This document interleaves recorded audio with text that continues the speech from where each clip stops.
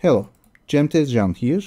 I created a substance material that generates PCB board look with fully randomizable parameters uh, with Substance Designer.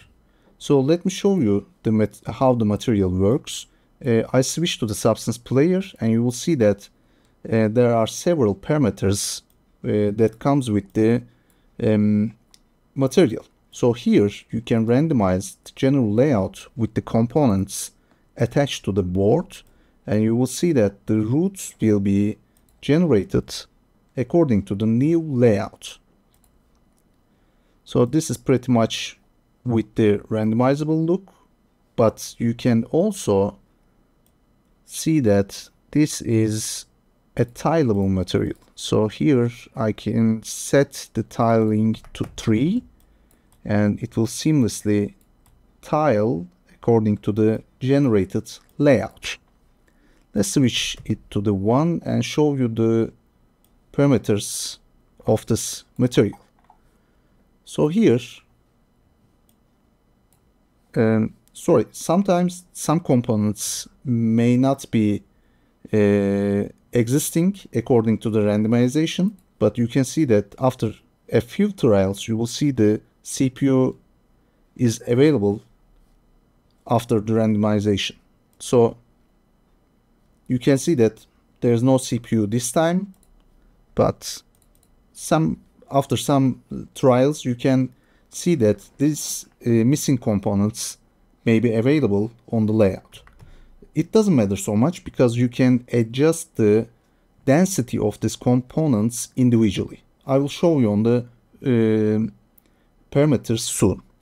So here on the general parameters, you will see that the solder mask or PCB color, which is set to white with by default, but you can change it to green. Also, there's another green like this. so there's a black, red, which looks nice, and also a blue, uh, which I defined by uh, checking the most common colors of the PCBs around the world. So you can also set it to a custom color by setting it to custom and change the custom PCB color to any color you like.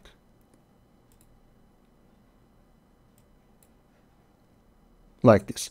Also changing the color uh, may render the solder mask texts uh, unrecognizable. So uh, which uh, gives us this parameter. This is the custom solder mask text color.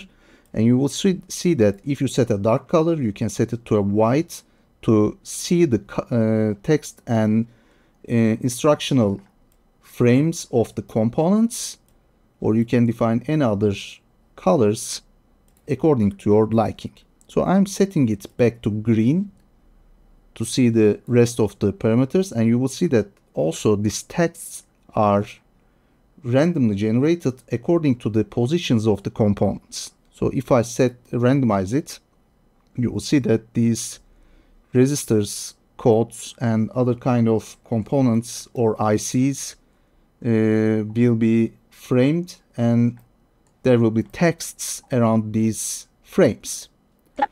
So after that, also you can see that there is a solder color here, which defines the metallic color of the overall PCB. So I'm setting it to a white color like this and move on. So here there are last three toggle parameters or booleans to set custom textures for these materials. So if you set the custom PCB shape toggle as true, you can assign, let me show you here, a custom outline or custom mask for your PCB. So I'm loading, uh, I'm assigning this texture as PCB shape and you will see that this new shape will be here and also the components will be placed according to this new shape. So the next one is the custom hole mask. I'm setting this toggle to true and assign a hole mask to the material. And you will see that there are holes around your PCB, which is covered with metallic uh, frame. Actually, this metal is underlay of this solder mask, which is the green uh, cover of the PCB. And you will see that these holes will be affected by the opacity map. So uh, affects the opacity map. So the next one I want to mention is the IC logo toggle. Let me turn off these and you will see that there is one logo for this big integrated circuit. If I set it to true, it allows me to assign a new logo for these ICs. And you will see that this time this logo is changed by the custom um, logo I assign to this um, input. So here you will see that uh, actually the purpose here is to fully uh, customize this PCB according to your project. So I don't want any brand or text uh, that cannot be edited. So this way you can fully change all the texts and logos by yourself. So the, under the normals tab, there is one, uh, two parameters which changes the format of the normals and you can change the intensity of the normal map. So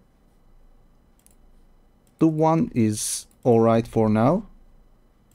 And let's move on to the next segment, which is the ambient occlusion. You can change the depth and radius of the ambient occlusion to change the overall occlusion of the 3D shapes. So let's change them to their default values. Also, there were another parameter that I missed here uh, was the secondary color luminosity of the PCB. You will see that we have changed the overall color of the PCBs, but there are two uh, uh, two colors on this PCB, which is lighter and other one is darker. This parameter controls the darker areas for you to make them lighter or much darker according to your need. So you will see that the traces are not affected by this per, uh, slider, but you will see the overall contrast increases according to your uh, needs.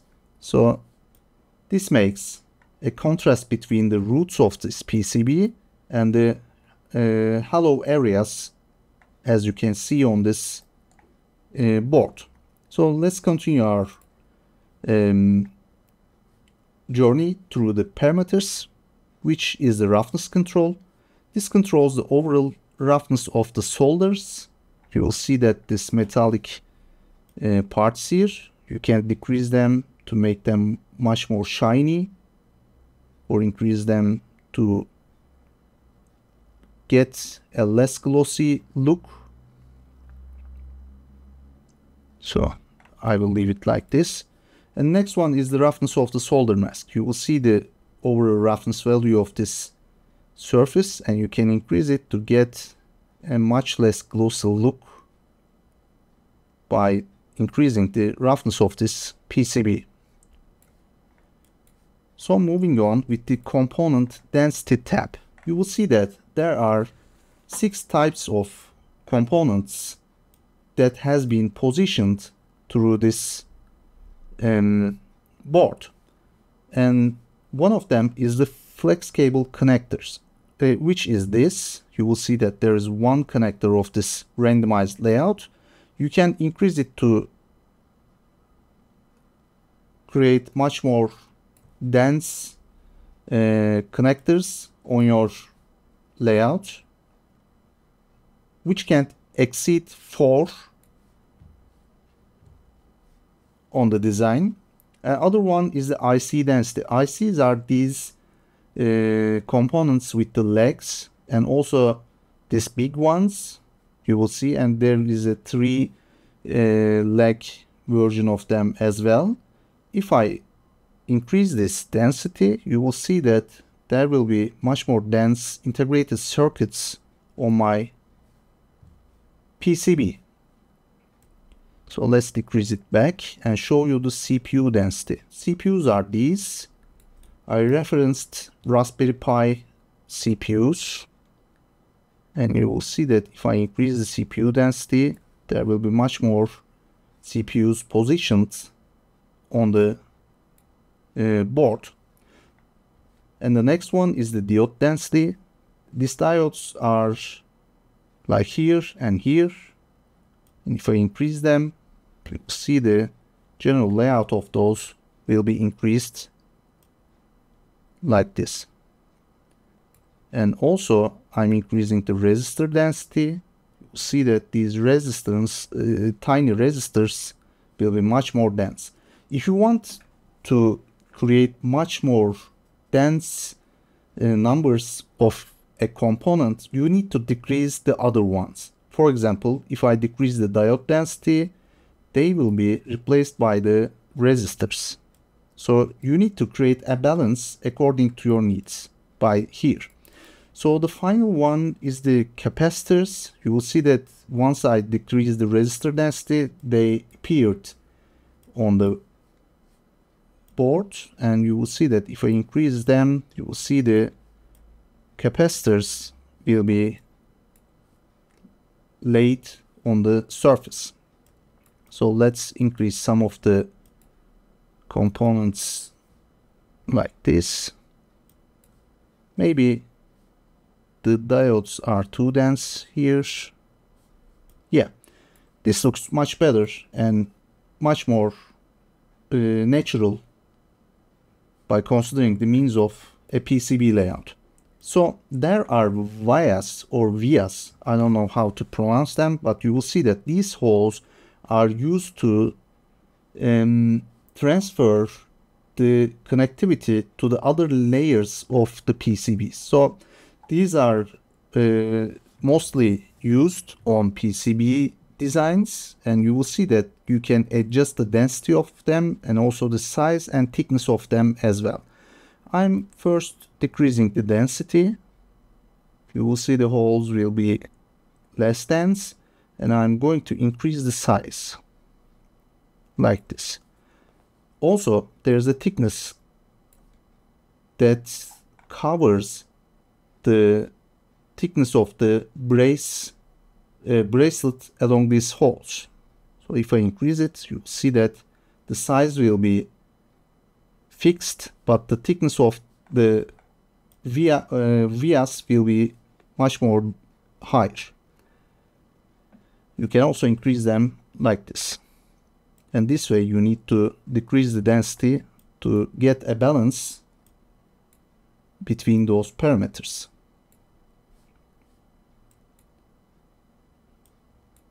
So I'm adjusting it back to a, a much more normal look.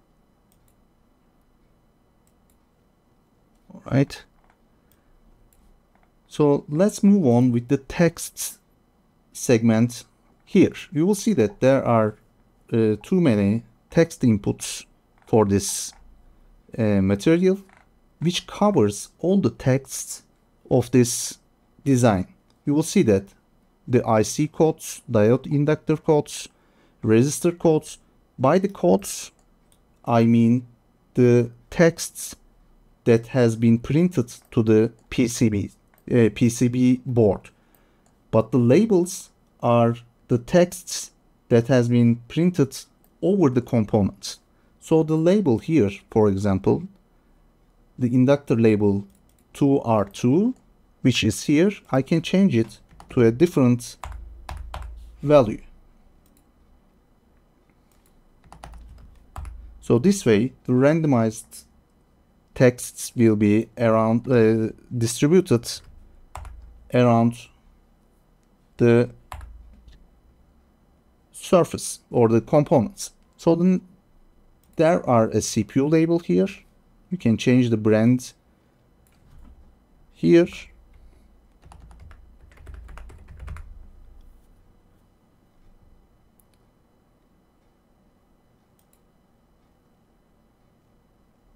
So it updates every time you enter a text. So it will be harder to change these texts uh, by typing. So I suggest you to uh, decrease the resolution first and increase it back after the editing the text.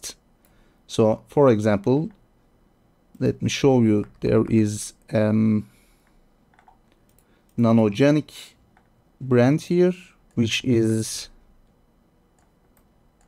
the one should be here. Uh, let's change it to cryogenic. Sorry for the caps. And increase the resolution back to 2K to calculate it uh, in one time. So otherwise, it will try to update every key press on my input. So here is the logo that we have changed the brand of this IC. So let's make it Claudia because the logo looks like a C. So you will see that all the texts that has been printed to this ICs can be changed by this um, text inputs. See that there's a code here for the flex cable connector. and it can also be changed. And this is pretty much like that. So every time you change a component layout or density, the routes will be recalculated according to the positions of this components. So which makes this per, uh, material pretty much convincing but you will see that the routes are randomly generated so they, they doesn't mean anything on a real world electronics but they will look like some electronic um, design PCB design. So I think it will be helpful on many projects that you need to create this kind of boards. For example, the some kind of um, explosive designs or some kind of uh, cyberpunk designs that has some kind of uh, circuits here and there. So I think it will be kind of a turnkey uh, solution for this kind of needs. So thanks for watching. I hope you like it and see you on the next project.